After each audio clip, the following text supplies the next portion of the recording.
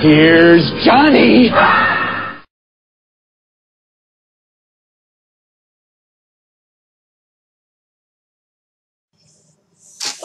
Hey.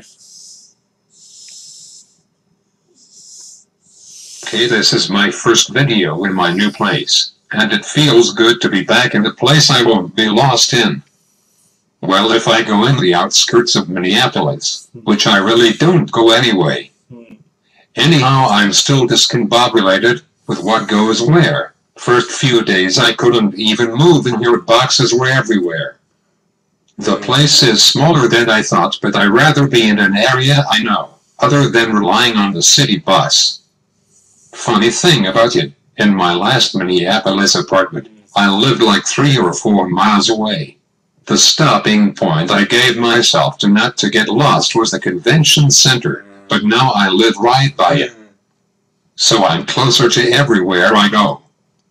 Anyway, this is going to be a short video. I still have to do some crap, then go hit the bar. Until my next video. Alright.